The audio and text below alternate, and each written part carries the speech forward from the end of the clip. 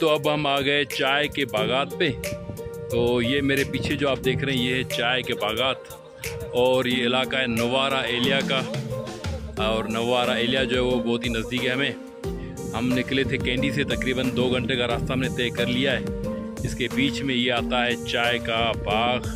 बहुत ही प्यारा, खूबसूरत इनका आउटलेट भी लगा हुआ है। आप वहाँ से चाय जो है, फ्रेश ख़रीद भी सकते हैं। और चाय काटते हुए, छानते हुए और जो जो उसका प्रोसेस है, वो भी पूरा देख सकते हैं यहाँ पे। तो चलिए आपको दिखाते हैं यहाँ का ट्री गार्डन ये सारा ट्री है सेलोन ट्री तो अभी हम चलते हैं ऊपर और आपको दिखाते हैं कि सेलन ट्री पर ओके बहुत ही खूबसूरत आला। Hello sir how are you how are you अभी हम जा रहे हैं ऊपर। ये इनका टी शॉप है। हर किस्म की टी और पैकिंग देखेंगी। ग्लास की पैकिंग है। Store field.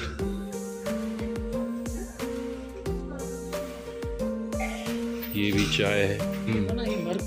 Hello hello hello and strongest one. It is better with the milk tea. Oh. Asian Arabic tea. So Pakistan, India, and Sri Lanka drinking in this too. Better with the milk and sugar.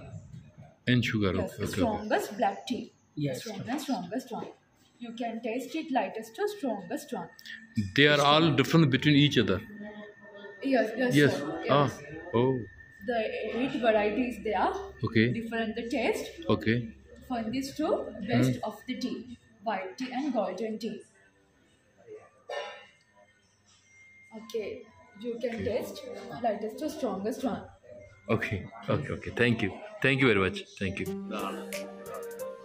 ये तो अब हम कर रहे हैं ये test ये जो एट डिफरेंस जो है हमें शेड मिले हैं चाय के। तो देखते हैं पहले इसको ट्राई करते हैं ये कह रहे हैं कि स्ट्रांग है। ये बहुत स्ट्रांग ये भी स्ट्रांग ये भी बहुत है ये बहुत लाइट है। मेरे ख्याल से कलर के हिसाब से शायद इनकी टेस्ट है, लेकिन मैं चेक करता हूँ उसको नहीं तो अभी अब ये चेक करते हैं। हाँ ये थोड़ी लाइट है उससे। बिल्कुल। तो जिस तरह कलर चेंज होता जा रहा है चाय का तो बिल्कुल उसी तरह टेस्ट भी जो है वो चेंज होता जा रहा है। तो अब हम इसको चेक करते हैं। ये चिकन लाइट है। ये बहुत लाइट बहुत बहुत ही बढ़िया। ये बहुत है। पीने में बहुत ज़बरदस्त है। शायद इसमें कुछ एक्स्ट्रा है। आपने पिए भी? उसको ट्राई किया? ये बोलो ये मेरे लिए ये उससे बेहतर है। चलिए मैं अब इसको मैं ट्राई ग्रीन टी है। क्या? ये ग्रीन ये मैं ग्रीन टी। मुझे लेनी है शायद। ये मेरे लिए सबसे बेस्ट है।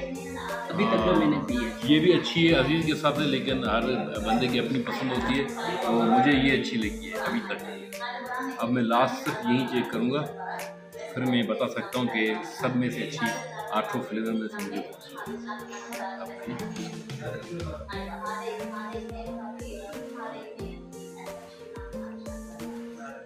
हम्म, भाई सॉरी सॉरी सॉरी भाई ये जो है ना ये जीत कौन? वाले। कौन सी? ये वाले। हाँ यार ये फ्लेवर जीत गया। मेरे हिसाब से अज़ीज़ के हिसाब से ये ये तो पता करते ही देखते हैं मिल्क टी आ रही है वो पीते हैं, फिर वो आपको बताते आ गई हमारी मिल्क टी।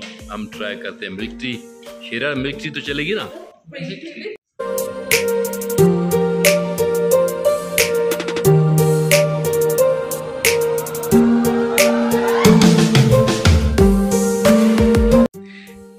जी है पूरी चाय की खेती, जो उस पूरे श्रीलंका में होती है।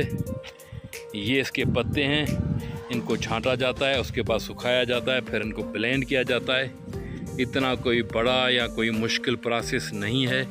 ऊपर बिल्कुल ये पहाड़ हैं, खूबसूरती ही खूबसूरती है। चारों तरफ़ चाय के बाग हैं, ये जो नीचे आप देख रहे हैं, ये भी चाय है। उसके बाद ये वाले साले चाय के बाग, ये पीछे हमारी गाड़ी खड़ी है।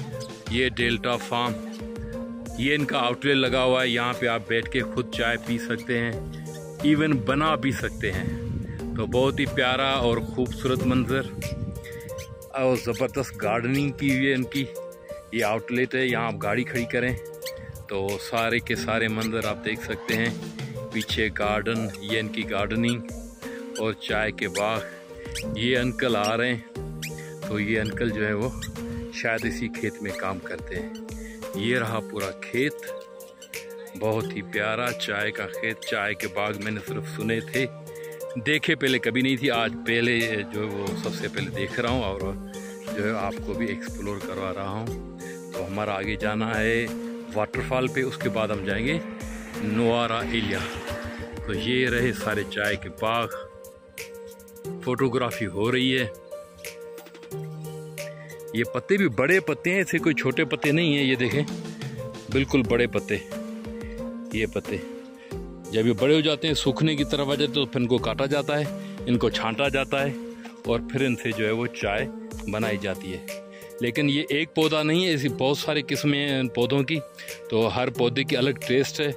तो ज़्यादातर खेती जो है वो इसी पौधे की होती है। जी तो उम्मीद है आपको मेरा ये व्लॉग बहुत अच्छा लगा होगा। ये चाय के बागात श्रीलंका की एक मेन निशानी है। यहाँ घूमने आप आएँ तो चाय के बागात ज़रूर देखें। यही बागात हम मलेशिया में भी देखेंगे, लेकिन यहाँ पे हमने देखा है। तो चलिए, अब चलते हैं नोर आइलिया रहिएगा सफ़र में हमारे साथ। थैंक यू अल्लाह हाफिज़